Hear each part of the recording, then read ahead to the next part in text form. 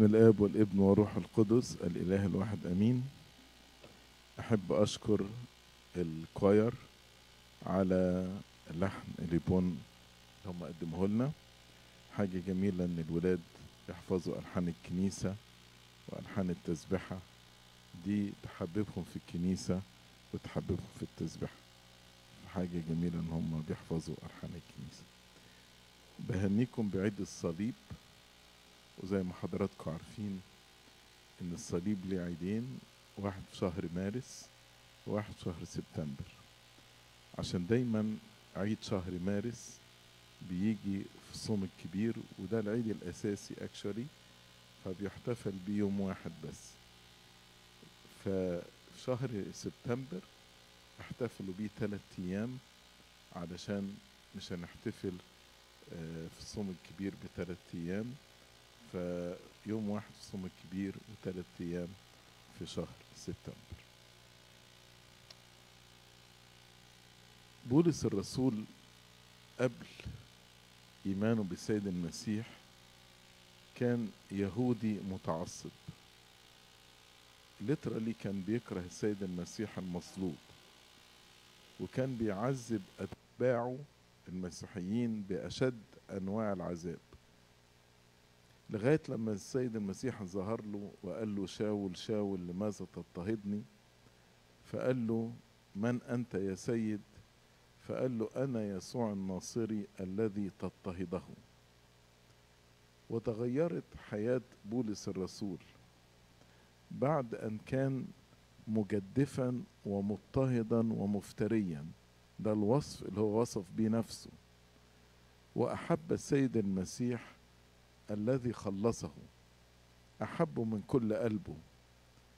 وهذا الحب ملك على كل كيانه ومشاعره وكل عاطفة فيه. فصار بولس الرسول يكرز بالصليب الذي اضطهده. فمثلا في رسالته لأهل كورنثوس مدينة العلم والرقي وأيضا مدينة الخطية. قال لهم لأني لم أعزم أن أعرف شيئا بينكم إلا يسوع المسيح وإياه مصلوبا. وفي رسالته الغلطية قال لهم أما أنا من جهتي فحاش لي أن أفتخر إلا بصليب ربنا يسوع المسيح الذي به قد صلب العالم لي وأنا للعالم. يا ترى إيه السبب اللي خلى بولس الرسول يفتخر بالصليب بعد ما كان بيحارب الصليب؟ لأن بولس رأى في الصليب قوة الله وحكمة الله. قوة الله التي انتصر بها على الشيطان وعلى الموت وعلى الخطية. وحكمة الله في التوفيق بين الحكمة بين الرحمة والعدل. علشان كده بولس الرسول خلى رسالة الصليب هي رسالته الوحيدة وقال لأهل كورنثوس نحن نكرز بالمسيح مصلوبا لليهود عثرة ولليونانيين جهالة أما للمدعوين يهودا ويونانيين فبالمسيح قوة الله وحكمة الله. بولس رأى في الصليب إن كل شيء في حياة المؤمن بتدور حول الصليب لأن الصليب هو أساس غفران خطايانا هو أساس سلامنا مع الله هو أساس تكريسنا للخدمة هو أساس احتمالنا للألام. ف لهذه الأسباب جميعا بولس الرسول افتخر بالصليب وقال حاشا لي أن أفتخر إلا بصليب ربنا يسوع المسيح. وخلي بالكم لما نتكلم على الصليب إحنا بنتكلم الصليب خد قوته منين؟ من السيد المسيح الذي صلب عليه. فإحنا لما بنتكلم على الصليب مش بنتحدث عن قطعة من الخشب ولكن بنتحدث على السيد المسيح المصلوب. الذي أعطى قطعة الخشب هذه هذه البركة العظيمة. بركة للعالم كله. بركة لكل المسيحيين الذين آمنوا بالمصلوب وآمنوا بالصليب. للأسف للأسف كتير مننا ربما لابسين صلبان أو حملنا صلبان لكن أهملنا قوة الصليب في حياتنا. زي لما بعد ما داود أدى الجلياط أخدوا السيف وحطوه كده وراء الأفود. لكن مفروض السيف ده يتاخد علشان نشوف ما مدى تأثيره. مفروض الصليب نحمله مش مجرد في أيدينا ولكن في حياتنا. علشان كده عايز أكلمكم النهاردة عن الصليب في حياتنا العملية. أول نقطة الصليب هو أساس غفران خطايانا وتبريرنا وتبريرنا. زي ما قال بولس الرسول عن السيد المسيح الذي لنا فيه الفداء بدمه غفران الخطايا. بدون سفك دم لا تحدث مغفرة. فدم السيد المسيح الذي سفك على الصليب هو الوسيلة الوحيدة للغفران والتبرير. بولس يقول في رومية خمسة تسعة نحن متبررون الآن بدمه. يعني إيه التبرير؟ يعني كل الأحكام اللي علينا سقطت لأن السيد المسيح حمل العقوبة بدلنا. فكل الأحكام اللي عليا سقطت. أصبرت أصبحت بار. بس هذا البر هو بر المسيح الذي أعطى لنا. طيب ليه بدون سفك دم لا تحدث مغفرة أو لا تحصل مغفرة؟ لأن الدم يحمل الموت والحياة معا. إزاي يعني؟ لما واحد بيسفكوا دمه بيموت والموت ده قصاص الخطية. ولكن الحياة هي أيضا في الدم لأن نفس الإنسان هي في دمه زي ما نقرأ في لويين سبعة 11 علشان كده الكتاب تكلم عن الدم كما لو أن الدم له حياة أو كأن الدم ده شخص يتكلم. فربنا يقول لقايين مثلا صوت دم أخيك صارخ إلي من الأرض. صوت دم أخيك صارخ إلي من الأرض. وفي رسالة العبرانيين لما اتكلم على دم المسيح في عبرانيين 12 الدم رش يتكلم أفضل من هابيل. دم رش. يتكلم أفضل من هابيل. عشان كده الدم يمثل الموت ويمثل الحياة أيضا. الفكر ده كان واضح في الذبيحة اليهودية. فكان اليهودي بيأتي إلى الدار الخارجية من خيمة الاجتماع اللي موجود فيها مذبح المحرقة وبعدين المرحضة النحاسية. وبعدين كان الذبيحة اللي بيجيبها تذبح وكأن الذبيحة دي بتحل محل الشخص. الخاطي. فذبح الذبيحة علامة على إن العقوبة الخطية موت أجرة الخطية موت ولكن الذبيحة دي بتحل مكاني زي ما السيد المسيح مات بدلا عني.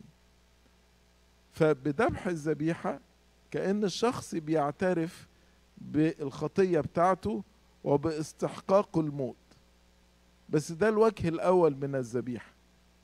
أما الوجه الثاني من الذبيحة فالكاهن كنائب عن الله بياخد دم الذبيحة وبيرشه على المذبح. علامة على إن الحياة قدمت إلى الله. ده بالظبط اللي عمله السيد المسيح. ففي الصليب كان في موت وحياة. فزي ما الذبيحة كانت بتقتل أو تذبح في خارج خارج في الدار الخارجية وده كان الموت. هكذا السيد المسيح خرج خارج أورشليم وذبح لأجلنا. وزي ما رئيس الكهنة كان بياخد الدم إلى قدس الأقداس في يوم الكفارة العظيم وبيرشه على غطاء تابوت العهد اللي هو بيعتبر زي عرش الله وده معناه الحياة. هكذا السيد المسيح قام من بين الأموات وصعد إلى السماوات بدمه ودخل إلى الأقداس السمائية فوجد فداء أبديا. فبولس الرسول لما يتكلم على الفداء والتبرير يقول أسلم من أجل خطايانا على الصليب وأقيم لأجل تبريرنا. أدي الغفران والتبرير. فالدم هو الموت والقيامة هي الحياة. أما دخوله إلى قدس الأقداس وهو الصعود فده علامة الخلود. والثلاث حاجات دولت تعتبر عملية واحدة في الكفارة في تبريرنا. الصليب هو عقوبة الموت القيامة هي الحياة والصعود هو الخلود. زي ما السيد المسيح قال هذا هو دمي الذي للعهد الجديد الذي يسفك عنكم لمغفرة الخطايا. طيب ده الدم والموت. أما الدم والقيامة نقرأ عنها في عبرانيين 13 2 13 20 آسف يقول وإله السلام الذي أقام من الأموات ربنا يسوع المسيح بدم العهد الأبدي. خلي بالكم الدم ارتبط بالموت. دمي الذي يسفك عنكم وعن كثيرين يعطى لمغفرة الخطايا. والدم هنا مرتبط بالقيامة الذي أقام من الأموات ربنا يسوع المسيح بدم العهد الأبدي. والدم مرتبط بالصعود.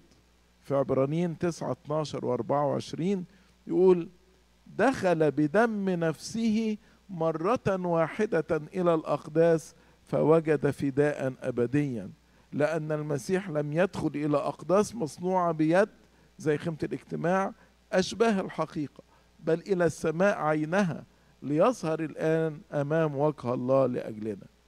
يبقى شفتوا ارتباط الدم بالصليب ارتباط الدم بالقيامة وارتباط الدم بالصعود. الموت والحياة والخلود. علشان كده إحنا نرى في دم يسوع الذي سفك على الصليب الموت لأجلنا والحياة لأجلنا والأبدية أيضا لأجلنا.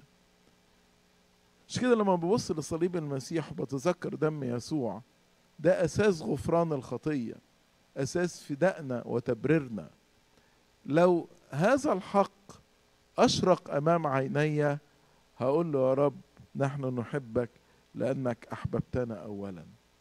وهقول معك لا أريد شيئا على الأرض لأنه لا يوجد حب أعظم من هذا أن يبذل إنسان نفسه من أجل أحبائه. يبقى أول حاجة لما بنظر إلى الصليب بفتكر غفران الخطية والتبرير. تاني حاجة الصليب هو أساس السلام مع الله. وبولس الرسول شرح ديا بطريقة رائعة في رسالة أفسس الإصحاح الثاني. لما بولس الرسول بيقول لأن من أول عدد 14 لأنه هو سلامنا ده المسيح. الذي جعل الاثنين واحدا الاثنين اللي هم مين؟ اليهود والأمم. ونقض حائط السياج المتوسط أي العداوة. كان في الهيكل في دار للأمم واليهود في مكان تاني. وفي حائط بيفصل بينهم. فالحائط ده يرمز إلى العداوة اللي كانت موجودة بين اليهود والأمم. لكن لما تهد النهاردة في الكنيسة لما واحد يهودي بيؤمن بالمسيح واحد أممي بيبقى بيؤمن بالمسيح مفيش حائط بيفصلهم. ونقض حائط السياج المتوسط أي العداوة مبطلا بجسده ناموس الوصايا في فرائض. كل الفرائض اللي كانت بتتم في العهد القديم من تطهيرات وذبائح وختان أبطلها لكي يخلق الاثنين في نفسه اللي هم اليهود والأمم إنسانا واحدا جديدا صانعا سلاما. لأن إحنا الاثنين بينا أعضاء في جسد المسيح. ماري مرقس كان يهودي متى كان يهودي لوقا كان يهودي أو يوحنا كان يهودي. وكل دولت في جسد المسيح مع الأمم أصبحوا إنسانا واحدا. وبعدين ويصالح الاثنين في جسد واحد مع الله بالصليب. يعني اليهود والأمم في جسد المسيح. وبعدين صالح الاثنين اللي بقوا واحد في جسد المسيح صالحهم مع الله الآب ويصالح الاثنين في جسد واحد مع الله الآب بالصليب قاتلا العداوة به. يبقى هو قتل العداوة بين اليهود والأمم ده البعد الأفقي. وقتل العداوة بين المسيحيين والله بالصليب. فجاء وبشركم بسلام. المسيح جه وبشرنا بسلام. أنتم البعيدين والقريبين. البعيدين هم مين؟ الأمم. والقريبين هم مين؟ اليهود. لأن به بالمسيح لنا كلينا. كلينا اللي هم مين؟ اليهود والأمم. قدوما في روح واحد إلى الآب. لأن الروح القدس اللي بياخده اليهودي لما بيتعمد هو نفس الروح القدس اللي بياخده الأممي لما بيتعمد. فلستم إذا بعد. ده بيكلم الأمم. غرباء ونزلا. بل رعية مع القديسين وأهل بين بيت الله. مبنيين على أساس الرسل والأنبياء. ويسوع المسيح نفسه حجر الزاوية. يبقى السيد المسيح هو سبب سلامنا. السلام ده تم على ثلاث مستويات. الإنسان مع نفسه لأن لما خطيتي اتغفرت قبلت نفسي. ففي صلح بين الإنسان ونفسه وصلح بين الإنسان والآخر وصلح بين الإنسان والله. لما الواحد يكون عامل خطية يقول لك أنا مش طايق نفسي أنا مش قادر أسامح نفسي. إنما لما المسيح غفر خطيتنا الإنسان يقدر يقبل نفسه ويسامح نفسه. عشان كده بولس الرسول في روميا خمسة واحد يقول فإذ قد تبررنا بالإيمان لنا سلام مع الله بربنا يسوع المسيح. فضمان سلامنا هو المسيح الذي سفك دمه على عود الصليب. يديني سلام مع نفسي سلام مع الآخر وسلام مع الله. أما الحاجة الثالثة الصليب هو دافع التكريس لله. إيه اللي يخلي الإنسان يترك كل حاجة ويكرس حياته لربنا سواء تكريس كامل أو تكريس جزئي. طبعا إحنا كمسيحيين إحنا كلنا مكرسين لله. كل ما نفعله بنفعله لمجد الله. لكن أنا بتكلم حتى التكريس من أجل الخدمة. تكريس كامل زي الآباء الكهنة والرهبان والرهبات والمكرسين والمكرسات أو تكريس جزئي زي خدام مدارس الأحد أو أي واحد بيخدم في أي قطاع من قطاعات الخدمة في الكنيسة. بولس عشان يشجع الكورنثي الكورنثيين على التكريس شجعهم بإيه؟ بالصليب. نقرأ في كرونسوس الأولى صح ستة يقول لهم أم لستم تعلمون أن جسدكم هو هيكل الروح القدس الذي فيكم الذي لكم من الله وأنتم لست لستم لأنفسكم. أنت دلوقتي مش مالك نفسك. الله هو الذي يمتلكك. لأنكم قد أشتريتم بثمن فمجدوا الله في أجسادكم وفي أرواحكم التي هي لله. يعني بولس بيقول انت مش بتاع نفسك. انت المسيح اشتراك بثمن. فانت من لحظة الإيمان بالمسيح والمعمودية والميرون أصبحت لا تملك نفسك. بتعيش للمسيح. إن عشنا فللرب نعيش وإن متنا فللرب نموت. يقول لهم برضو في رسالة كورنثوس الثانية صح خمسة عدد 14 و15 يقول لأن محبة المسيح تحصرنا. في أي اتجاه أروح ألاقي محبة المسيح محوطاني. إذ نحن نحسب هذا أنه إن كان واحد قد مات لأجل الجميع فالجميع إذا ماتوا وهو مات لأجل الجميع. كي يعيش الأحياء فيما بعد لا لأنفسهم بل للذي مات لأجلهم وقام. لما كل يوم أنظر الصليب وأعرف أن المسيح مات لأجلي. يبقى أنا مش مفروض أعيش لأجل نفسي بل أعيش لأجل السيد المسيح الذي مات لأجلنا وقام. فالصليب هو اللي بيدفع الإنسان المؤمن للحياة من أجل المسيح لأنه بيشعر أن محبة المسيح بتحصره. فلا يستطيع إلا أن يكرس نفسه لربنا علشان يرد هذه المحبة. نحن نحبه لأنه أحبنا أولا. والارتباط بين الصليب والتكريس موجود حتى في العهد القديم. يعني يوم إقامة هارون كرئيس كهنة نقرأ في لويين 8 23 يقول ثم قدم الكبش الثاني فذبحه وأخذ موسى من دمه وجعل على شحمة أذن هارون اليمنى وعلى إبهام يده اليمنى وعلى إبهام رجله اليمنى. إيه معنى أن جاب الدم وحطه على الأذن واليد والقدم؟ معناه من دلوقتي الأذن مكرسة لله ككاهن تسمع وتعرف صوت الله لأنه من فم الكاهن تطلب الشريعة. واليد تعمل لخدمة الله ولخدمة أولاد الله. والقدم تسير من أجل الله وتسير من أجل خدمة أولاد الله.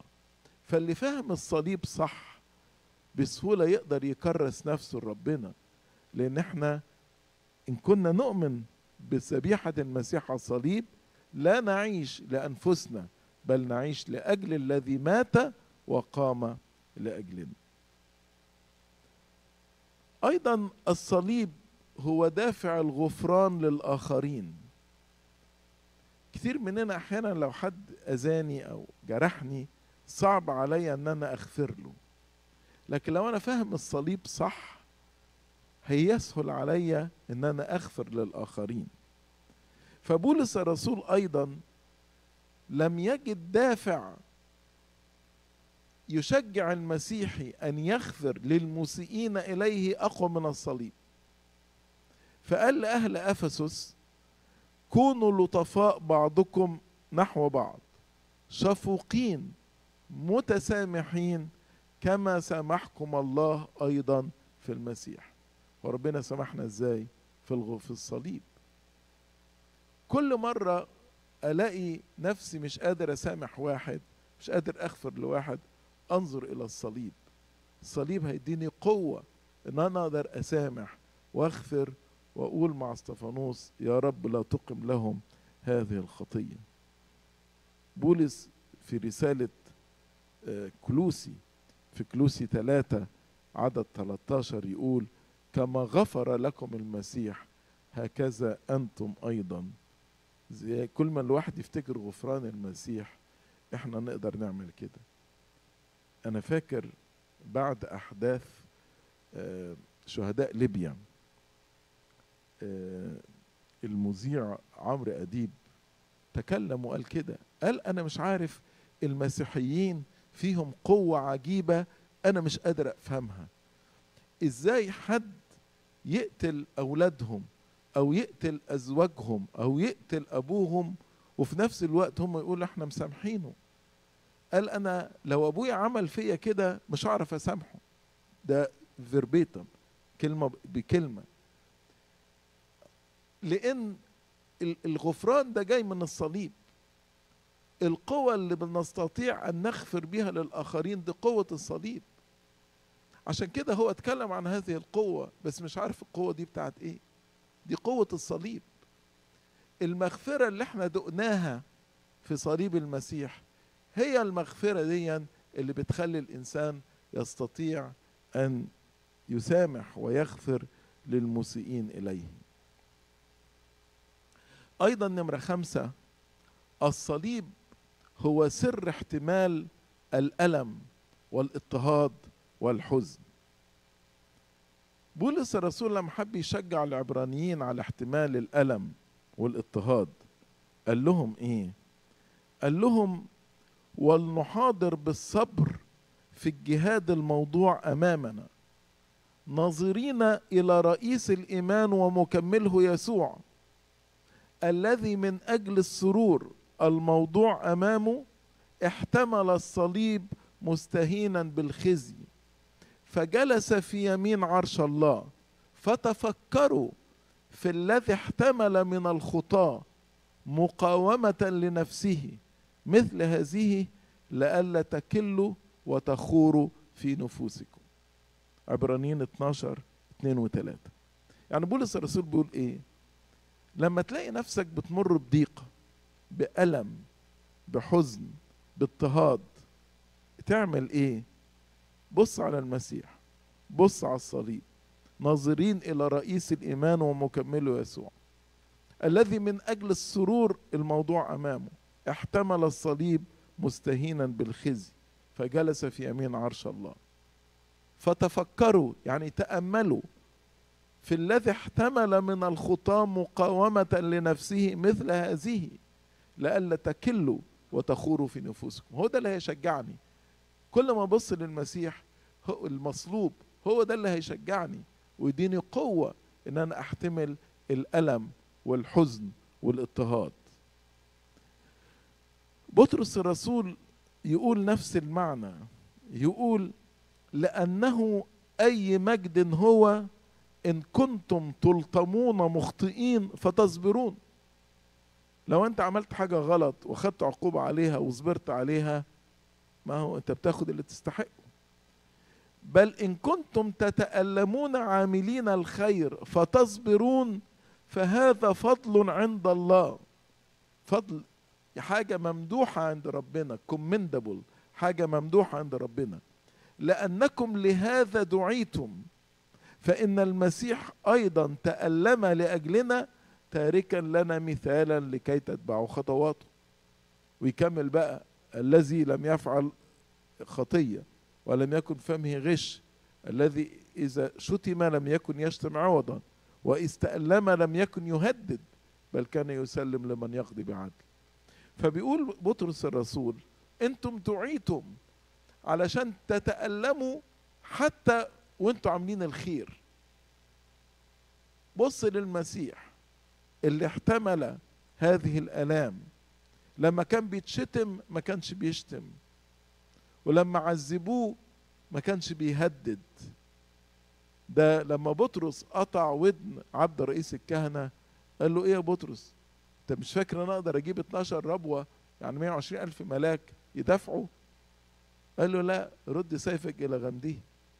وفي قمة التسامح العبد اللي جاي يقبض على المسيح المسيح راح شفاه.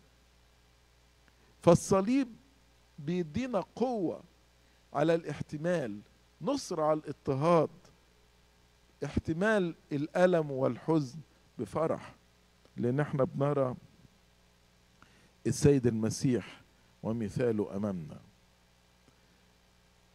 نمرة ستة الصليب هو سر الموت المزدوج.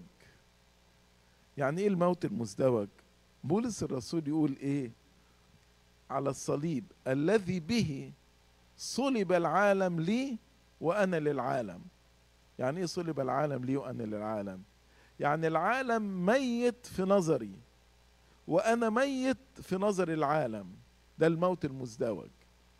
فالمسيح ينظر إلى العالم فيرى العالم مصلوبا أمامه. ولا يشتهي أي شيء من العالم. لا إغراء العالم ولا جاذبية العالم ولا شهوة الجسد ولا شهوة العيون ولا تعظم المش... المعيشة. لأن كل دي صلبت على الصليب في عيني المسيح. وأيضا العالم يرى في المسيح ميت شخص مصلوب. يقول لك الذين هم للمسيح قد صلبوا الجسد الأهواء مع الشهوات. فلا العالم يقدر يحرك فيا شيء ولا أنا أشتهي شيء من العالم. ده الموت المزدوج. صلب العالم لي وأنا للعالم. شفنا احتقار العالم في شخصية موسى النبي. بولس الرسول يقول إيه؟ بالإيمان موسى لما كبر. أبى أن يدعى ابن ابنة فرعون. مفضلا بالأحرى بالأحرى أن يذل مع شعب الله على أن يكون له تمتع وقت بالخطية. حاسبا عار المسيح. إيه عار المسيح ده؟ ده موسى قبل المسيح اللي هو الصليب بروح النبوي. ف فقال لا أنا مش هشتهي شيء من العالم. العالم مصلوب. قصر فرعون ده بكل الملاذ الموجودة فيه ده ده بالنسبة لي لا أشتهي منه شيء. أنا أتذل مع شعب ربنا هو بقى ده الصليب ده عار الصليب. أحسن من أن أتمتع بالمغريات الموجودة في قصر فرعون. حاسبا عار المسيح غنى أعظم من خزائن مصر. ليه؟ لأنه كان ينظر إلى المجازاة. فموسى النبي حسب عار المسيح الذي هو الصليب غنى أعظم من خزائن مصر وكان الصليب هو سر انتصاره على العالم. عشان كده بولس الرسول وهو بيشجعنا إن إحنا نحسب العالم ميت لينا وإحنا موتى للعالم يقول لنا لذلك يسوع أيضا لكي يقدس الشعب بدم نفسه. تألم خارج الباب. طب نعمل إيه؟ فلنخرج إذا إليه خارج المحلة حاملين عاره ليه؟ لأن ليس لنا هنا مدينة باقية لكننا نطلب العتيد. هل إحنا خرجنا من العالم؟ خرجنا من العالم يعني إيه؟ مش معنى إن إحنا نفارق العالم ونموت أو نروح نعيش في الصحراء. لا الخروج من العالم هو الخروج بقلبي وبفكري وبعواطفي وبمشاعري. يبقى العالم ميت بالنسبة لي. أنا بعيش في العالم ولكن العالم لا يعيش فيا لأن أنا لست من العالم.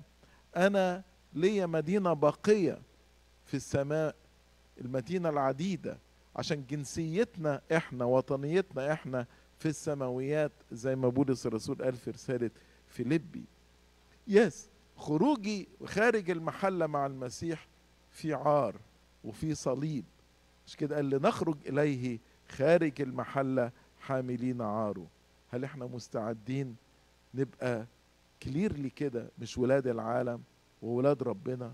حتى لو الناس قعدوا يتريقوا علينا حتى لو الناس اضطهدونا حتى لو الناس ما حبوناش حتى لو الناس رفضونا ما هو ده العار. هو ده العار اللي احتمله موسى النبي وحسبوا عار المسيح أفضل من خزائن مصر. هو العار ده اللي بولس الرسول قال فلنخرج اذا إليه خارج المحلة حاملين عاره لأن ليس لنا مدينة باقية هنا لكننا نطلب العتيدة. فهل يا ترى صلبنا جسد الأهواء مع الشهوات وخرجنا خارج المحلة حاملين عار المسيح ولا لأ؟ بولس الرسول قال مع المسيح صلبت. فأحيا. لا أنا. خلاص أنا مت. بل المسيح يحيا فيا. واحد تأمل إن بولس الرسول لما قال مع المسيح صلبت يقصد إيه؟ قال كأن بولس صلى لربنا وقال له يا رب سمر يدي اللتين قبضتا على المسيحيين وعذباتهم سمر قدمي اللتين سارتا في طريق تحطيم كنيستك. كل الرأس الذي فكر بالأفكار الردية بإكليل الشوك. اطعن قلبي الخداع النجس بحربة الموت. لكي أموت أنا وتحيا أنت يا سيدي فيا. ده الموت عن العالم. ده الذين هم للمسيح قد صلبوا الأهواء الجسد الأهواء مع الشهوات. آخر نقطة كيف نحيا الصليب؟ إن الصليب هو أساس شركتنا مع الله. أساس شركتنا مع الله. ده الحق المعلن لينا في رسالة العبرانيين. بولس الرسول يقول فإذ لنا رئيس كهنة عظيم قد اجتاز السماوات يسوع ابن الله فلنتمسك بالإقرار لأن ليس لنا رئيس كهنة غير قادر أن يرثي لضعفاتنا بل مجرب في كل شيء مثلنا بلا خطية. فلنتقدم بثقة إلى عرش النعمة لكي ننال رحمة ونجد نعمة عونا في حينه. يعني أنا مش هقدر أقف قصاد أمام الله الآب ولا يكون لي شركة أمام الله الآب إلا لو أنا اتحدت مع يسوع المصلوب. اللي هو بيتشفع ليا بدم نفسه في السماويات. ده اللي بولس الرسول أكده مرة تانية في عبرانيين لما يقول فإذ لنا أيها الإخوة ثقة بالدخول إلى الأقداس. إزاي؟ بدم يسوع. طريقا. كرسه لنا حديثا حيا بالحجاب أي جسده يعني المسيح بصعوده للسماء فتح لنا الطريق إلى السماويات. ولنا كاهن عظيم على بيت الله اللي هو ربنا يسوع المسيح رئيس الكهنة لنتقدم بقلب صادق في يقين الإيمان مرشوشة قلوبنا من ضمير شرير ومغتسلة أجسادنا بماء نقي لنتمسك بإقرار الرجاء راسخا لأن الذي وعد هو أمين. إذا أساس شركتنا مع الثالوث القدوس وثقتنا في الدخول إلى عرش النعمة وإيماننا الراسخ في استجابة صلواتنا هو دم الصليب. دي بنقولها في اسم سبت الفرح. في اسم سبت الفرح في عبارة جميلة أبونا يقول ودخل إلى الأقداس الموضع الذي لا تدخل إليه أو الذي لا يدخل إليه ذو طبيعة بشرية. يعني ما فيش حد ذو طبيعة بشرية يدخل إلا سماء السماوات. إنما السيد المسيح تجسد وأخذ بشريتنا ودخل بها إلى الأقداس. عشان لما اتحد بالمسيح في المسيح أستطيع أن أنا أدخل إلى الأقداس السماوية. وده دخل بدم نفسه لأن بدون دم لا يستطيع رئيس الكهنة أن يدخل إلى الأقداس. فالمسيح دخل بدم نفسه. عشان كده قلت أساس شركتنا مع الثالوث القدوس ثقتنا في الدخول إلى الأقداس السماوية وإيماننا الراسخ في استجابة صلواتنا هو دم الصليب.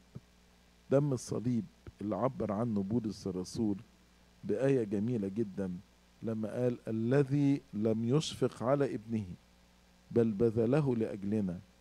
أجمعين كيف لا يهبنا أيضا معه كل شيء الله الآب لم يشفق على ابنه بل بذلوا لأجلنا أجمعين على الصليب. فإن كان إدانا ابنه وبذلوا على الصليب لأجلنا يقدر يدينا ملكوت السماوات يقدر يدخلنا الأقداس الأبدية. فالنهاردة وإحنا بنحتفل بعيد الصليب.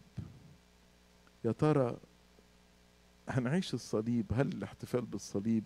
ان إحنا النهارده نقول آه النهارده عيد الصليب وبكرة نعمل دورة في باكر دورة الصليب وخلصت على كده. ولا الصليب ده حياة عملية أنا بعيشها يوم بيوم. هل أنا السبع نقط اللي إحنا قلناهم على الصليب هل أنا شاعر إن الصليب ده هو أساس غفراني وتبريري هل الصليب هو أساس سلامي مع ربنا؟ هل الصليب هو الدافع لتكريس حياتي لله؟ هل الصليب هو الدافع لأن أنا أغفر للآخرين؟ هل الصليب هو المشجع ليا لاحتمال الحزن والألم والاضطهاد؟ هل الصليب فهمت فيه سر الموت المزدوج أنا ميت للعالم والعالم ميت ليا؟ هل الصليب بيعلن ليا سر الشركة مع الثالوث القدوس ولا لا. أختم كلامي بقصة حقيقية حصلت هنا في أمريكا بعد الحرب الأهلية. إن في جندي من جنود الحرب الأهلية ساءت أحواله جدا وكان عايش في فقر شديد. فلما الحكومة سمعت بيه قالت إزاي ده جندي وحارب نسيبه في الفقر ده؟ فقال هيبعتوه هيبعتوه مزرعة آه، يعولوا فيها الفقراء. فجه مندوب الحكومة بيزور الجندي ده آه، علشان يعرفوا الخبر وياخدوا للمزرعة دي. فلما دخل وشاف بيته الغلبان أو الكوخ اللي هو عايش فيه لقى فيه برواز موجود كده على الحيطة. والبرواز ده فيه ورقة زي ما تكون شيك. فراح المندوب الحكومة وخلع البرواز ده وفكه وطلع الورقة دي.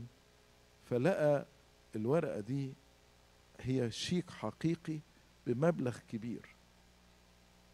وكان ممضي من الرئيس لينكولن نفسه.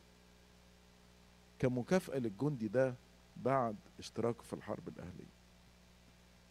فمندوب الحكومة استغرب وراح سأل الجندي اللي احتفظ بالشيك السنين دي كلها وقال له أنت ليه ما صرفتش الشيك ده؟ قال له أنا احتفظت بيه لأنه يحمل إمضاء إبراهام لينكولن. فهنا المندوب قال له ده الشيك ده يحمل لك ثروة ضخمة. هل أنت بتكتفي إنك تتطلع إلى توقيع إبراهام لينكولن كل يوم الصبحية وأنت عايش في الفقر ده؟ قال له روح اصرف الشيك. فصرف الشيك وعاش بقية حياته في راحة واستقرار.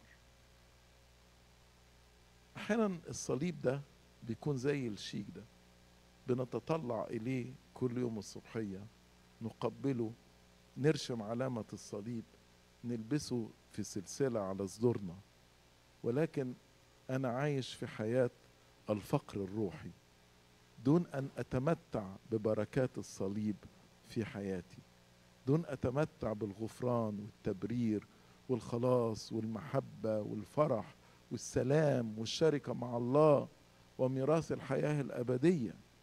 فهل أنا هفضل بقية حياتي زي الجندي ده اللي بيتطلع إلى الشيك كل يوم الصبحية ولكن عايش في فقر ولا هاخد بركات الصليب في حياتي وتمتع كل يوم بالغنى الوفير اللي موجود ليا في بركات الصليب؟ بركة عيد الصليب تكون مع جميعنا لإلهنا المجد الدائم إلى الأبد. آمين. Amin alleluia doxa vatrike io che agium pneumatiken in che aike stus eon astonion anam internosce volingo emos open choice Isus pe Christos viera vaše pe stavrosek echom cheme psatanas apisiten nenet shalav sotiem mono nainan Akeciet charis emo sistemet o ibentimel shise dektimet cheloin te jakopino en ahentimatho Sala picare solente raviti sofeente solomon piebnam parakiton feta viegen, ni apostolos of choice of area one can taharat vempeniota tayotin archerevs, papa vatawadrus nempeniotum metropolitis ava Iusef notintet fe, Evet agro hegen no etheronos an han mission rompinum hanse yo in hirini con enteptho yo no gagitiros apesit no chalav gen colem, Love Christus eria gontel kanen no vinane vol geno herini gadan bneshti innai Kyrie eleison, Kyrie eleison, Kyrie vlogison, aminus mo erois, mo eroi, Simetania konie vogo en piesmo. لخريستوس بنوتي Amines shopi. يا ملك السلام أعطنا سلامك قرر لنا سلامك واغفر لنا خطايانا لأن لك الملك والقوة والمجد والبركة إلى الأبد أمين اللهم اجعلنا مستحقين أن نقول بالشكر. أبانا الذي في السماوات يتقدس اسمك يأتي ملكوتك تكن مشيئتك كما في السماء كذلك على الأرض. خبزنا كفافنا أعطينا اليوم. اغفر لنا ذنوبنا كما نغفر نحن أيضا للمذنبين إلينا. لا تدخلنا في تجربة لكن نجينا من الشرير. بالمسيح يسوع ربنا لأن لك الملك والقوة والمجد إلى الأبد. أمين. والآن محبة الله الآب نعمة ابنه الوحيد. ربنا وإلهنا ومخلصنا يسوع المسيح. شركة موهبة الروح القدس تكون مع جميعكم. امضوا بسلام. سلام الرب يكون معكم كل سنة وأنتم طيبين.